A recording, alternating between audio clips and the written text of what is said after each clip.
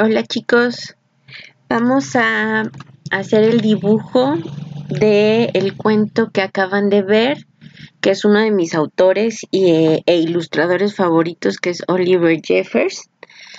Y este cuento en especial me encanta, que es El día que los crayones renunciaron.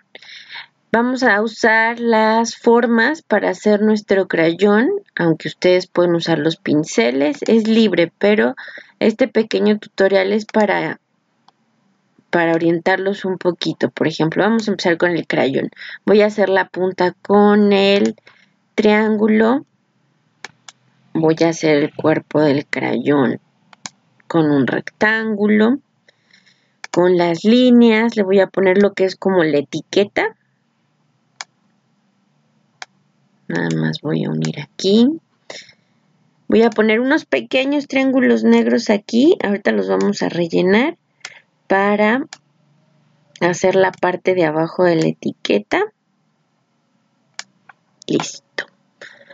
Escojan el crayón que a ustedes les, a ustedes les haya gustado más. A mí por ejemplo voy a hacer el rojo. Si se acuerdan en el cuento el color rojo estaba tan cansado porque hasta trabajaba en vacaciones.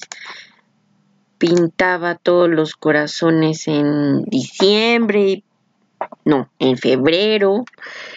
Pintaba los Santa Clauses en diciembre. Ok, voy a hacerle los bracitos con el pincel, pero voy a mover el grosor aquí en el tamaño. Le voy a poner sus manitas.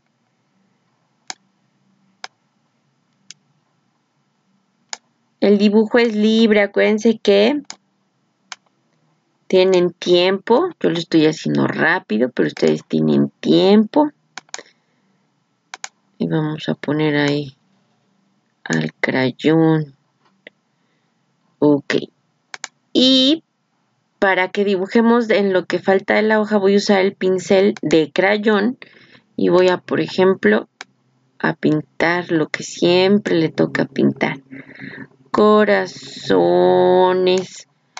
Puedo poner un Santa Claus con su gorro. Su traje de Santa Claus. ¿De acuerdo? Ustedes, yo estoy segura que van a hacer dibujos increíbles. ¿De acuerdo? El dibujo. Pueden tomarle una foto y pueden enviármelo a mi correo electrónico con ayuda de mamá o papá. Les voy a poner el correo electrónico en el blog. O pueden imprimirlo con su nombre y me lo enseñan regresando a clases. ¿De acuerdo? Ánimo con esta cuarentena y los veo pronto.